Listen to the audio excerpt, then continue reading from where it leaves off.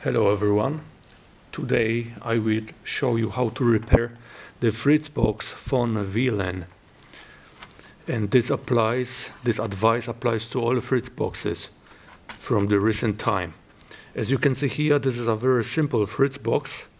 And this Fritzbox is a very popular DSL router, especially in Germany. And you have four screws you need to pull off and then you can deattach the latch. The top cover is latched here. At this place you just pull some uh, screwdriver between the top lid and the bottom lid and then you can take the top lid off. As you can see here we put this aside and then we have direct access to the PCB inside. So what the matter is with those Fritzboxes? boxes? Uh, the company uses very cheap SMD capacitors. So here this bottom cover and the type of the Fritzbox is exactly 7360 EWE edition but that doesn't matter at all. Here we have the inner workings of the Fritzbox. Here are the antennas. They are partially made from wire, special prepared wire for the frequency the Fritzbox is working on. And we have lots of components which consist the functionality of the Fritzbox. Now I will show you where the error is on this Fritzbox. I have here at the side a lab supply which I connected such way it gives me 12 volts. The Fritzbox is working on 12 volts and I can draw 2 amps by connecting those both in parallel. And now I will connect the Fritzbox and please observe what happens to the current. So the voltage drops down to 2 volts and the current both sides of the power supply gets in a red overload. This means the Fritzbox it has, has a short somewhere on the PCB. So our next step will be to locate the short. We go back to the PCB apply the pop we, we can turn the PCB at the other side. So then we apply the power again. Of course we again have the short. And now we just gently search a place on the PCB which has a much higher temperature than the surroundings so the defective capacitor on the PCB can lie everywhere.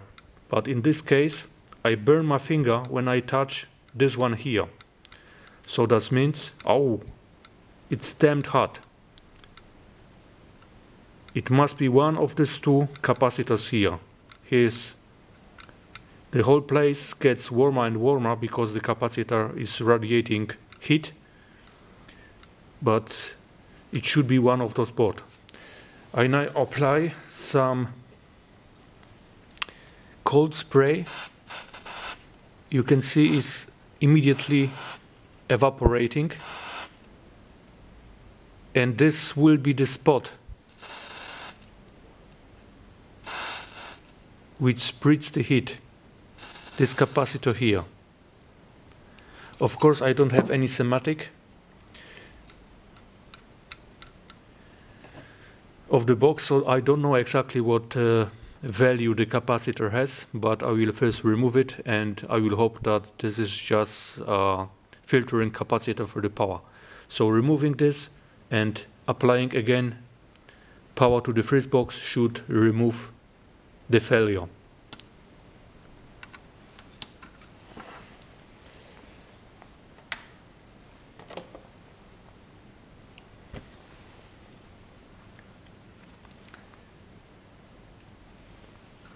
So my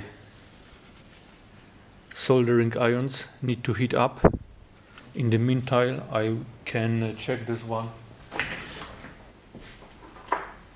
with the continuity tester in this multimeter.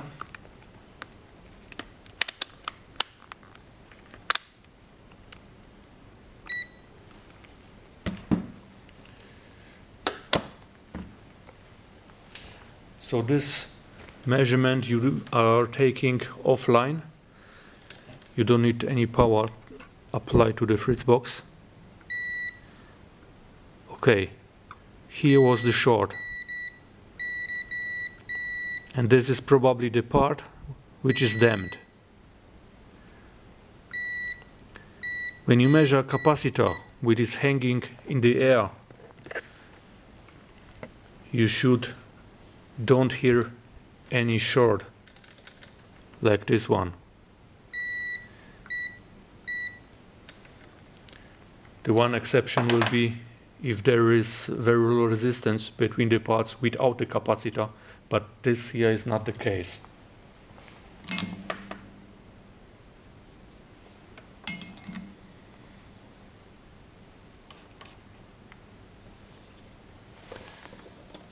I need to replace one iron which is not heating up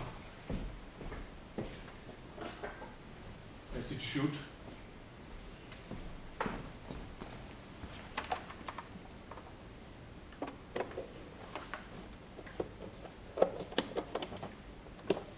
Because to replace, to remove the capacitor I will need two ions. I hope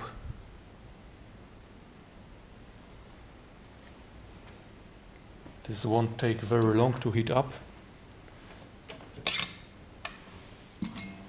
So we do it like this. We go from both sides with two irons, heat the connections here up, and then it should automatically remove the cap from the PCB.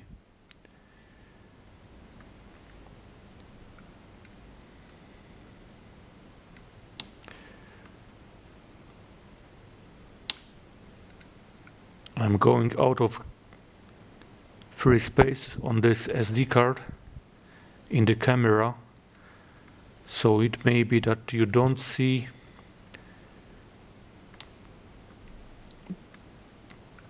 the Fritzbox working in this movie. But this is the procedure you have to follow to repair a Fritzbox which has a failure like this. This is most likely a shorted cap on the PCB.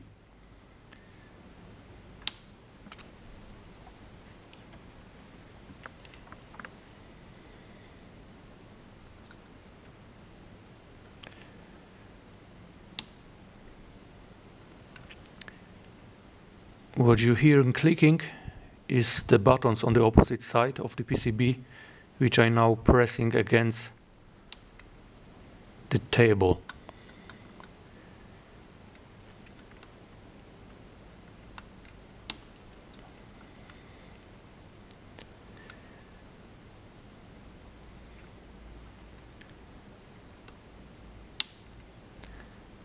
This is taking so long because the cap is soldered directly to the big ground plane. So the ground plane is spreading heat all around and I can get the temperature on the solder joints I will to remove. I will have removed. So that's why it's taking so long. And I don't want to damage the cap or the PCB underneath. So we need time to heat everything up.